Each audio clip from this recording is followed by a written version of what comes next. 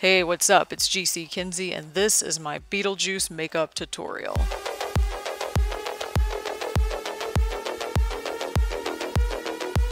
Before I jump in, I just want to point out that although this tutorial is only 18 minutes long, the makeup itself is not. It takes me about two and a half hours to apply and one hour to remove it. At cons, I budget four hours total to get into Beetlejuice, including makeup, costume, and snack or restroom breaks. That's because eating and using the restroom are difficult, if not impossible, with your hands and teeth painted, though you can drink through a straw. So, plan your day accordingly when you wear this. I'm starting by taking some Pros-Aide and using a Q-tip to dab a light thin layer all along my hairline down to my jaw on each side and this is going to be what helps hold my wig in place. There are other adhesives you can use like liquid latex or spirit gum but Pros-Aide is just my favorite. So once this is applied and dried I'm going to take my wig, pull it on, start adjusting it, and then start laying it down into that layer of Pros-Aide that I just applied. The way I built this wig was on a bald cap, so I used that to create Beetlejuice's receding hairline, and then I took some liquid latex and just applied layers upon layers of hair to the wig until it was fully covered. And then finally I cut and styled it into the right shape and painted it for the final wig that you see today.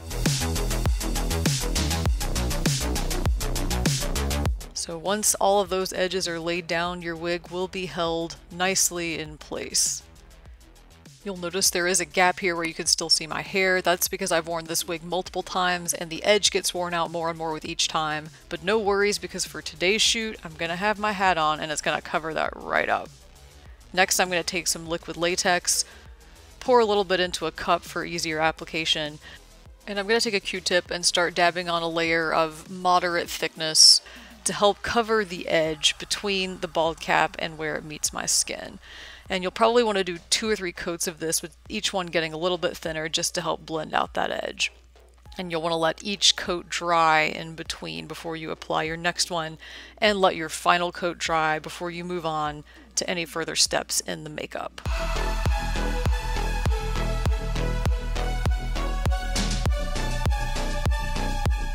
Now I'm taking a Mehron Cream Blend stick in white and I'm going to use that to lay down my foundation.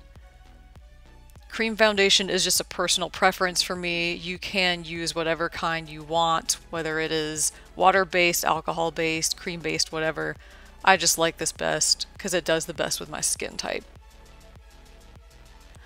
So now I'm taking a sponge and I'm actually applying a little bit more of that cream to the sponge itself as I blend out what's already on my face for a very nice full coverage.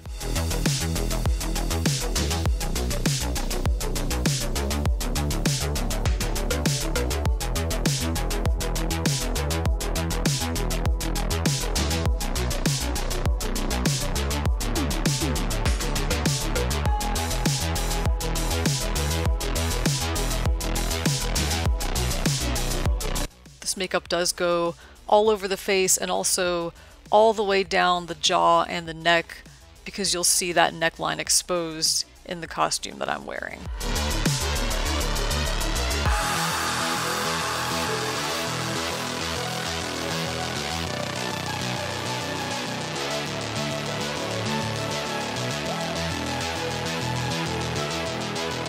Once that's done, we're going to set it. And I just took some baby powder and put it into an old makeup container. You can use a legit theatrical setting powder if you would like. I am just cheap and lazy. All that matters is that it is in a shade of white that will match your foundation.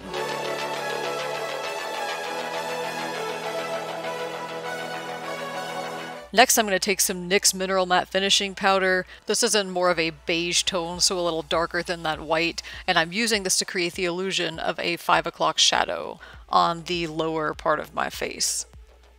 So this gives just a little bit of contrast to that white foundation and powder that we laid down before.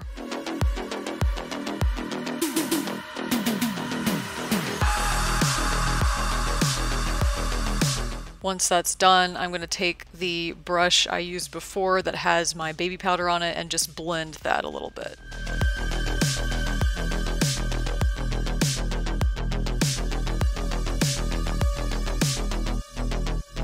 Now I'm taking a Ben Nye cream color palette in black and I'm going to use this to do the eyes. So I'm just blocking out the shape first with a q-tip and a thin layer of that black cream foundation. And I do like to keep a reference photo nearby that I can take a look at just to make sure I'm getting the shape as close to screen accurate as I can. I like to block out that shape on both eyes first before I start filling it in. And that just makes it easier to make any adjustments or fixes I need to before I get too much of that color laid down. So now I'm filling it in. And I'm doing this pretty lightly. I'm not putting a very heavy layer. It's kind of appearing as more of a dark gray than a true black, which is absolutely fine. That's what we want. So filling it in, first one side and then the other.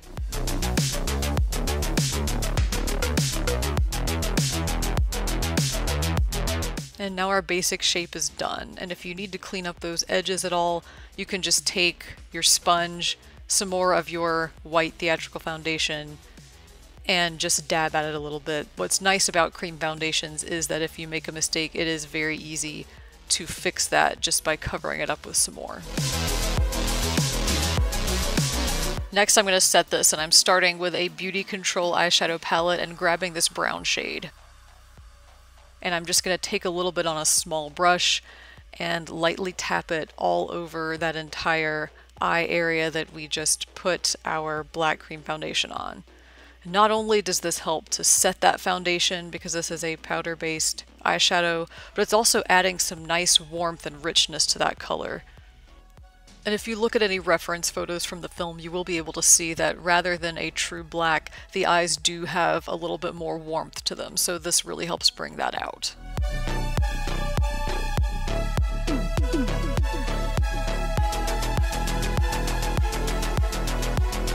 I'm doing another pass using a Maybelline eyeshadow palette in these two shades of purple, which will just add yet another layer of richness to this makeup.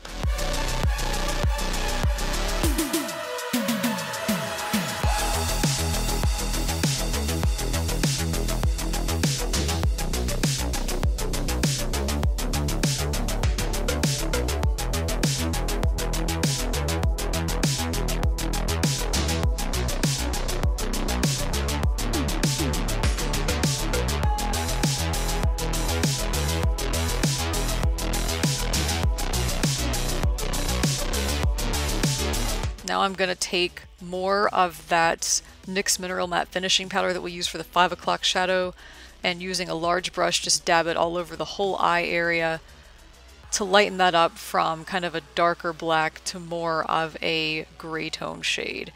Blending it out a little bit and then cleaning up the edges as needed with more of that theatrical foundation on my sponge.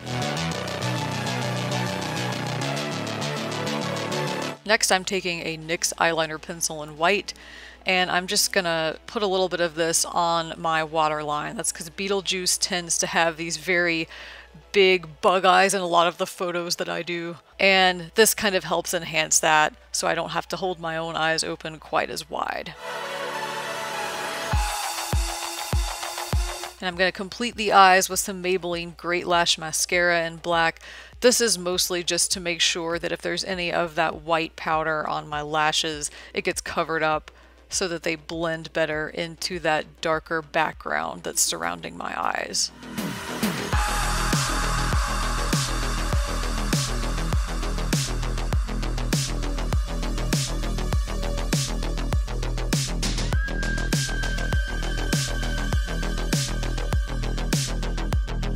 Now I'm taking a NYX eyeliner pencil in charcoal gray and this is the fun part because this is where I get to block out the areas where there is moss growing on Beetlejuice's face.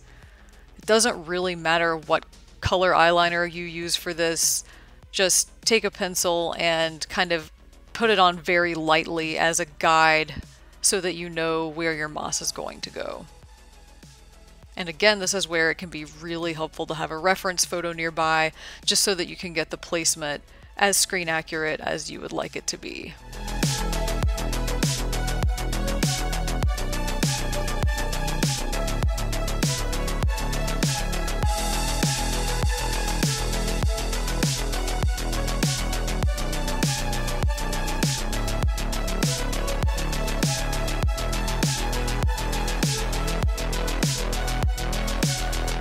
Now that I'm done marking that out, I'm getting my Pros-Aide back out and taking a Q-tip and dabbing a light layer on over these areas I blocked out. I like to do two or three, maybe four areas at a time so that the first area can be drying while I dab Pros-Aide onto the other areas and then by the time I'm done with that kind of set of areas I'm ready to start laying moss down into the first area that has already become tacky dry. So in this case, I'm just starting with the sort of moss mustache that surrounds my mouth.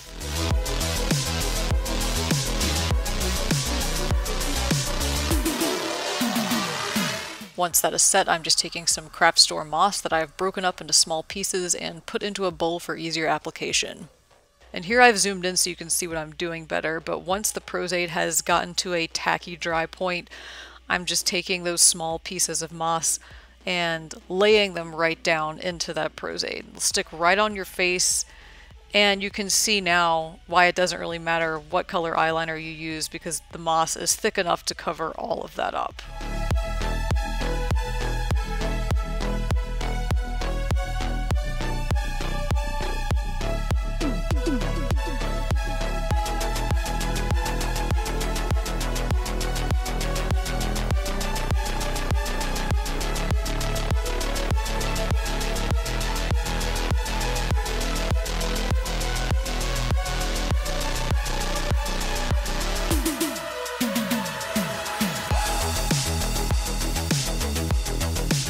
So I'm just going to continue this process all over the rest of my face and neck.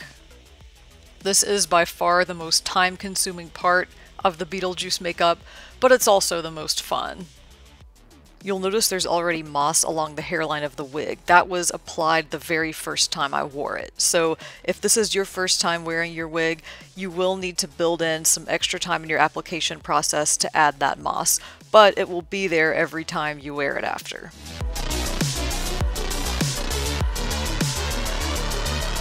And at this point you can see I've applied most of it to my face and am now moving down to finish my neck.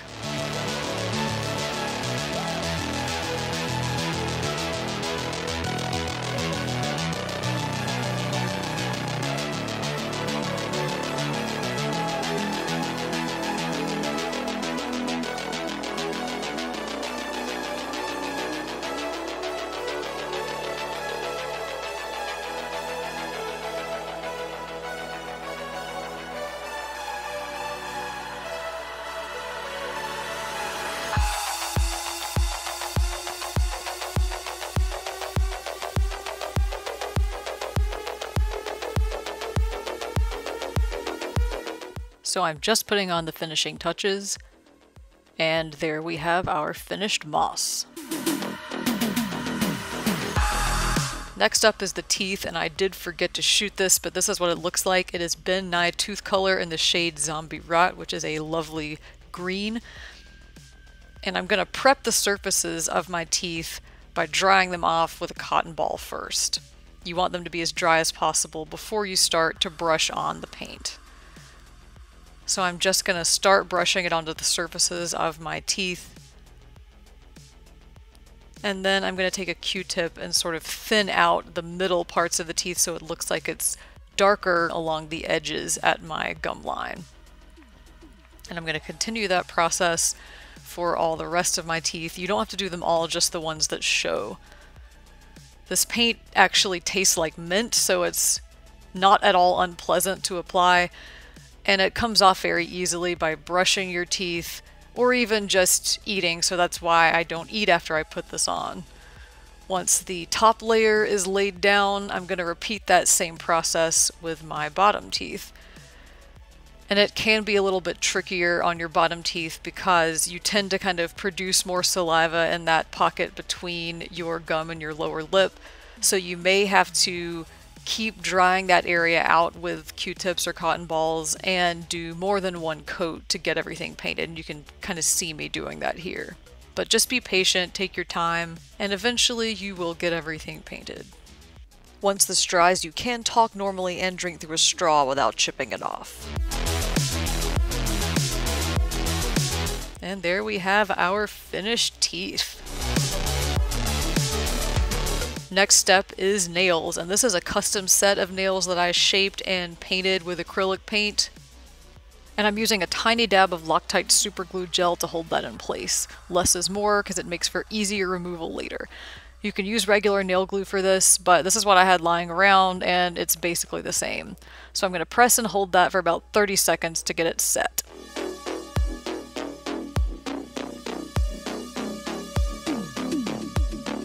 So there is our first nail. And once that's done, I'm just going to repeat the process on all of my other ones.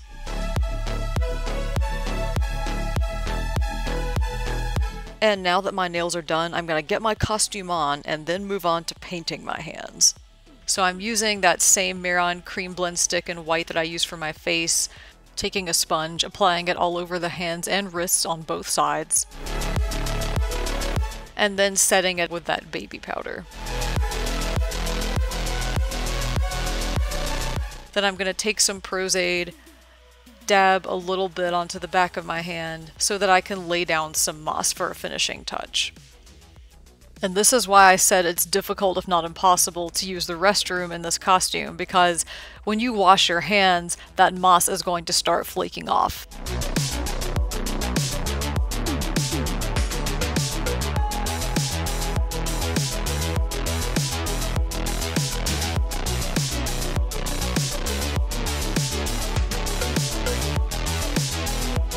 So I'm laying down a section of moss onto the back of each hand, popping on my ring, and now my hands are done. So there you have it, the finished makeup look. If you have any questions about any part of my application process, please feel free to leave me a comment down below or contact me on other social media. I am GC Kinsey across all platforms. While you're here, feel free to check out any of my other videos and like and subscribe so you don't miss anything new. I really hope you enjoyed this tutorial, and I will see you on the next one.